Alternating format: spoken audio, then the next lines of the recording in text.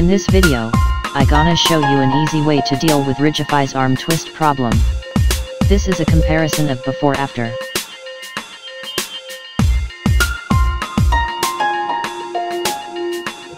Why the problem occurs is that the model has skin and bone but flesh. So, vertices connect through shortest path. To add flesh, Armature Modifier has an option.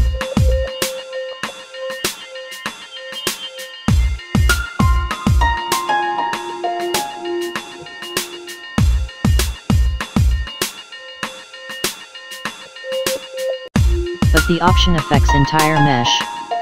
Though we can restrict by a vertex group and copying modifier.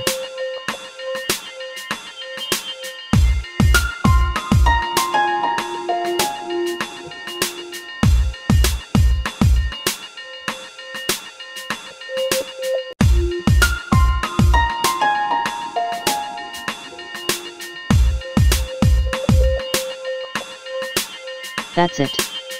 Thanks for watching.